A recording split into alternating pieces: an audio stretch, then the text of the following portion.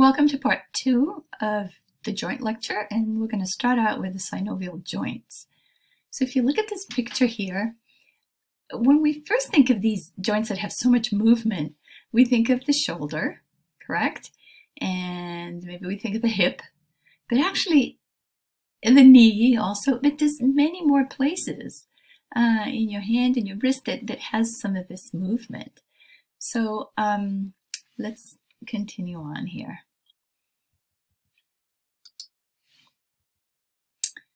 Uh, this is the this is a funny thing. Why do your knuckles pop? And I put a video in the video section, external videos, for you to be able to to see that because uh, it's kind of a funny thing, and that has everything to do with joints.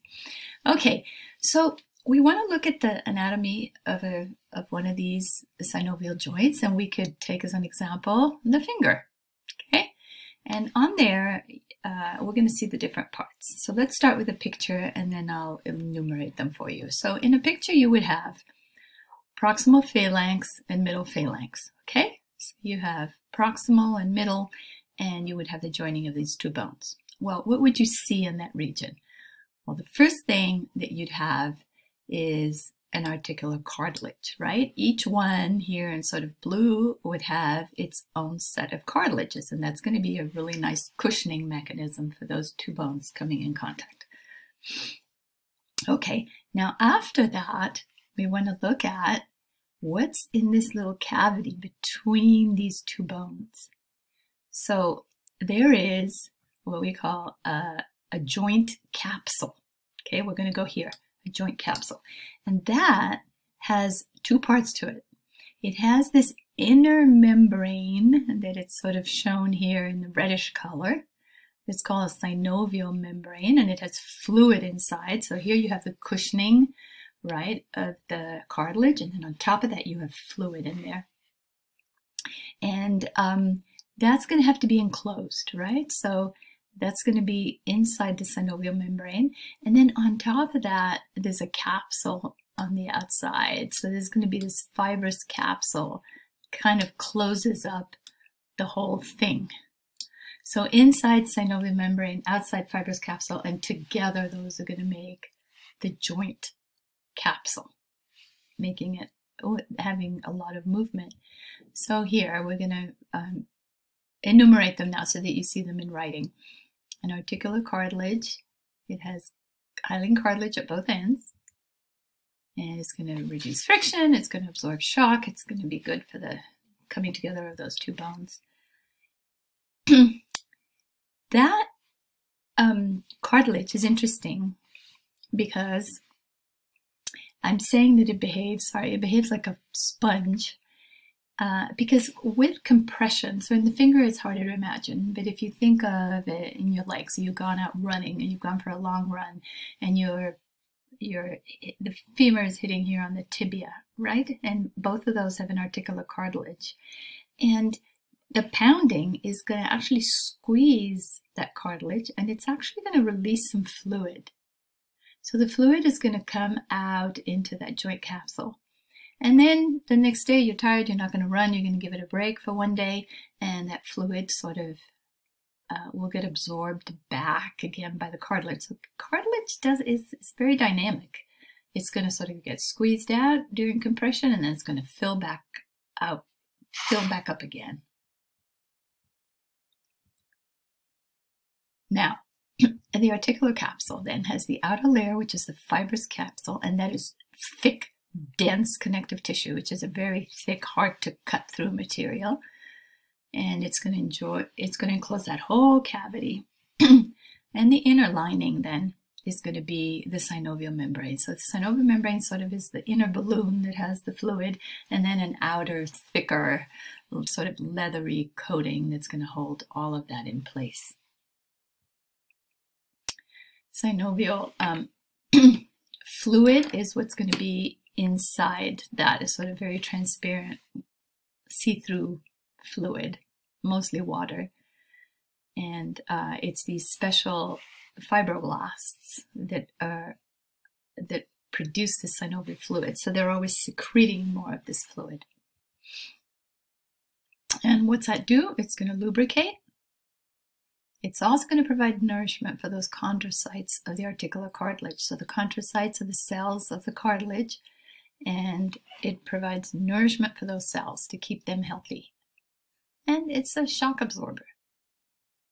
Uh, anytime you have a fluid um, helping to disseminate sort of shock or the pounding of the two bones, um, those compressive forces distributed more evenly if you have fluid in that joint. So it's going to help you to have that there. And back to the picture again. So now you can envision how all that fluid is in there. This is going to get compressed, release even more fluid into the joint capsule.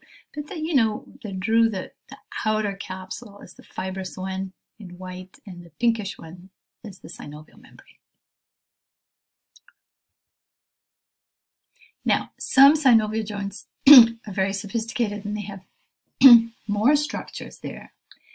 And one of them are uh, is articular discs. So these are fibrocartilage pads that divide the synovial cavity. So it's as if you had this sort of swimming pool in there and it was yet divided in the middle. So you had swimming pool one and swimming pool two. So the meniscus, the menisci, the plural, uh, in the knee do this. And uh, also in the jawbone. And I think I'll, I'll show you pictures of that a little, little later. Some of these structures also have fat pads. It's just going to give more cushioning. You have little locations, little tiny balloons of fat that are going to help that joint. This is the temporomandibular joint. And so look, um, so we have, this is the, the condyle from the mandible. So they cut this off, but this would continue on and be part of the mandible that's inside your jaw, right?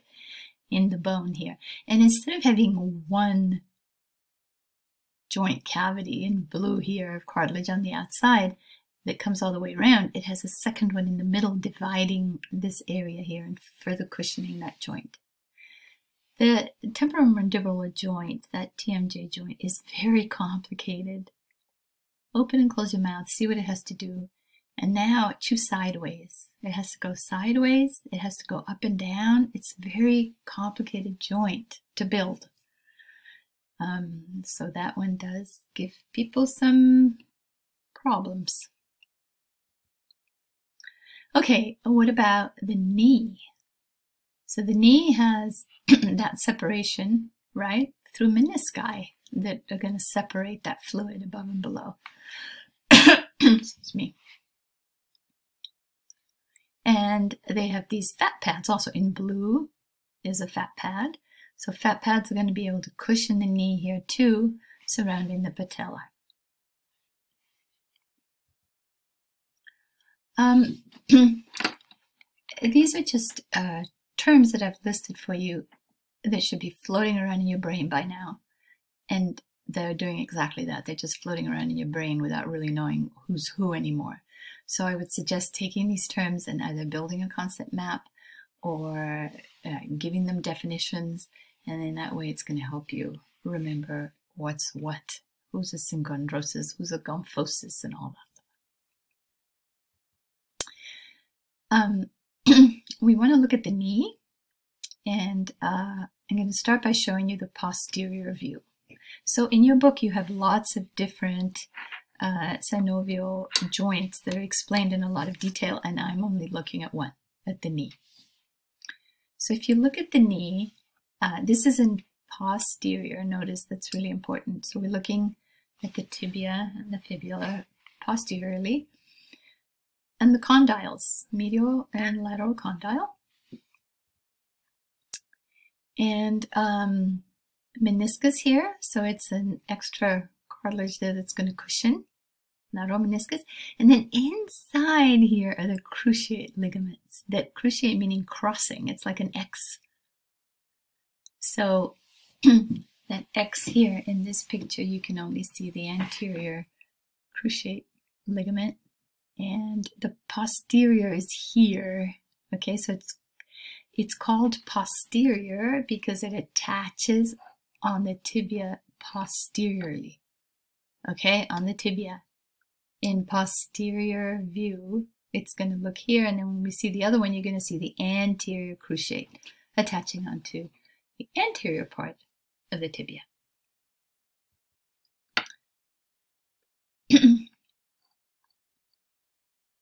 so the ACL, anterior cruciate ligament, I'm describing it here in words so that you can go back and look at it. It attaches to the tibia anteriorly. It prevents hyperextension of the knee. It's going to hold it tight there. And when the knee is extended, it's pulled tight and can't go any further. The posterior cruciate ligament, PCL, attaches to the tibia posteriorly and it's going to prevent the femur from slipping off the front of the tibia. So it's taut there so that there's no sliding that's happening between those two bones.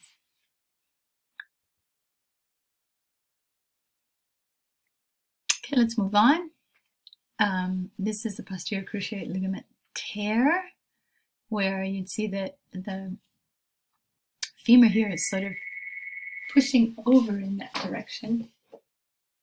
I've got a phone ringing. and uh, this is a tear where it's just coming coming off. That sounds painful. Uh, lots of uh, injuries of the anterior cruciate ligament have to do with twist. So this is really common in sports where you plant your foot, it's steady in one position, and then you decide that you want to go the other way. So you want to just you want to rotate, and your foot is in one position, and you want to rotate, and it just rotates in that location around the knee. Not great.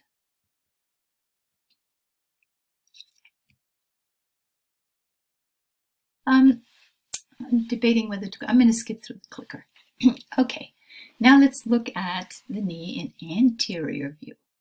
So you're looking now at the anterior cruciate ligament that's attaching onto the tibia, the meniscus, lateral and medial meniscus, and then the posterior cruciate is in there. So see, notice how it's definitely an X here.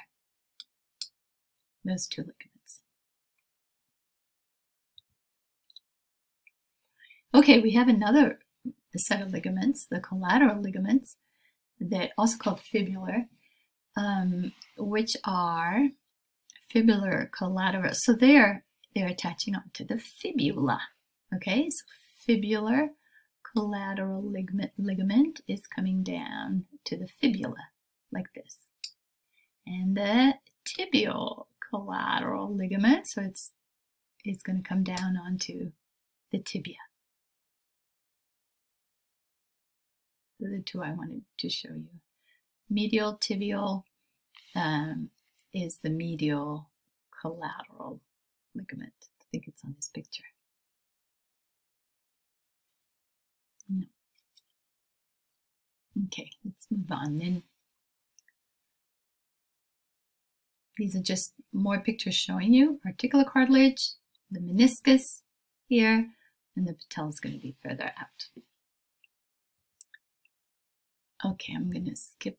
Um, okay, the I'm going to skip those skip those clickers. So in the um, synovial joint structure, you could also have bursae or bursa for singular. And these are interesting. They're just little other little balloons, but this is filled with fluid that's not fat. It's filled with synovial fluid. And these are very important where there may be friction of a tendon that's kind of rubbing on that joint. Okay, so you've probably heard of, you know, bursitis, and what happens there is that you have the inflammation of the bursa, and it's usually an overuse injury. So when uh, on a joint, it's getting a lot of usage over and over again, and you have this tendon rubbing on these bursa that are trying to cushion it, um, that they could become inflamed. And that is very painful. So tennis elbow in you know in the elbow is the inflammation of the bursa. I mean, people describe it as being so painful they can't brush their teeth. You can't put their arm up just to brush your teeth, which is no weight at all, not carrying any weight. It's just the movement is painful. this to me is very amazing in that as recently as 2013, a new ligament was discovered. You know, after all those knee surgeries uh, that MDs make or do, to think that there would be another ligament that they've never noticed before. And it goes from the femur to the tibia, and it's the anterolateral ligament. It's a tiny little guy, and that's why I guess it wasn't fully noticed before. Let's do this one. So uh, structure number three. So structure number three is this here.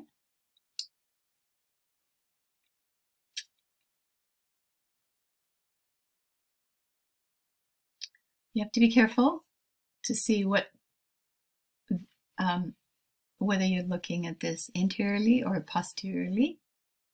And what's going to help you is maybe the presence of the fibula.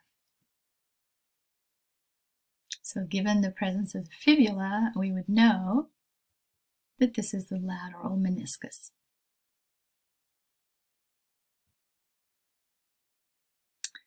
This is another example of retrocalcaneal bursitis. So we have bursa here that are, um, right, they're to, this tendon is coming onto the calcaneus. And so we have bursa here that are trying to cushion that rubbing of that tendon on the bone. So this is another place that can be painful in overuse injury.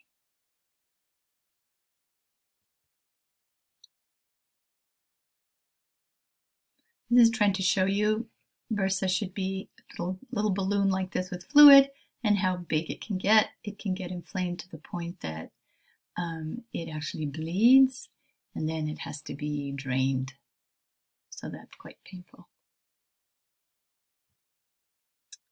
We also have bursa in the hand. We have lots of these little pockets, little balloons I call them, and they're going to help this array of tendons that you have coming to your fingers. There's a lot going on in your hand.